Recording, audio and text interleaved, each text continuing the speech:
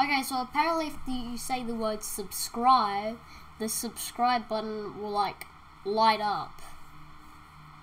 I'm just trying this.